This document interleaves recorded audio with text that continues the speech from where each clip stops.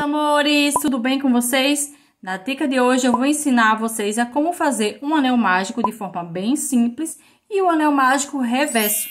Então, bora conferir essa dica. Vou iniciar pelo anel mágico que eu utilizo muito aqui nos meus amigurumis, que eu acho fácil de fazer e vou passar para vocês como eu faço meu anel mágico. Então, para fazer meu anel mágico, eu vou segurar o fio aqui, ó, no meu dedo. Vou contornar todo o meu dedo cruzando esse fio aqui, ó, e vou segurar ele aqui, ó, para ficar guiando o fio. Então, vou segurar aqui. Vou introduzir a minha agulha aqui por baixo.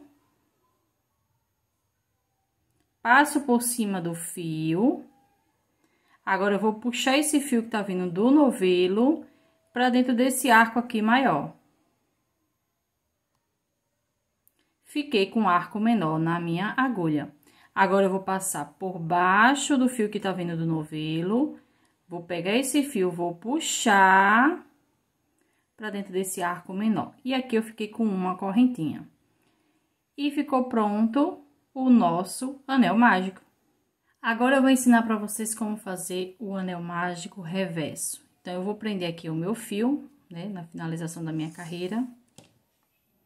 Vou pegar aqui a minha agulha.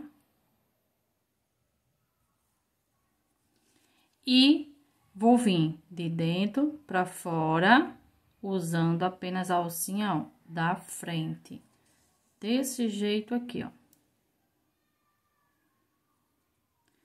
Dessa forma, a gente finaliza as peças em amigurumi. Ó, só passando aqui, usando apenas uma das alcinhas de dentro para fora.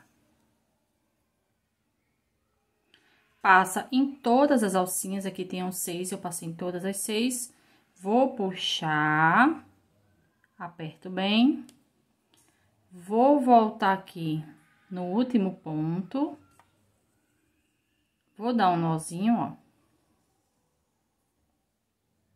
E vou passar aqui no centro da minha peça, sai em qualquer parte.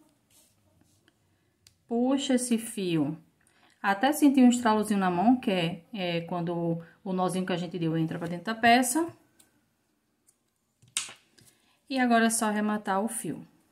E a nossa peça, ó, fica bem fechadinha. Espero muito que vocês tenham gostado da nossa dica. Se gostou, curte, comenta, compartilha esse vídeo com suas amigas e salva para você conferir essa aulinha, se você tiver dúvida, depois.